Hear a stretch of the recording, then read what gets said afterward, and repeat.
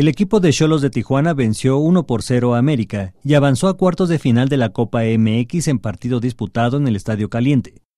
El partido inició con dominio de los tijuanenses con constantes ofensivas comandadas por el colombiano Avilés Hurtado, que fue un peligro para la saga americanista. Tijuana se colocó 1 por 0 al minuto 28 en pase filtrado de Milton Caraglio para Paul Arriola, quien dentro del área remató ante el portero argentino Agustín Marchesín para abrir el marcador. Con este resultado, el equipo comandado por Miguel Herrera disputará los cuartos de final contra Monarcas Morelia, que venció al Toluca. Notimex.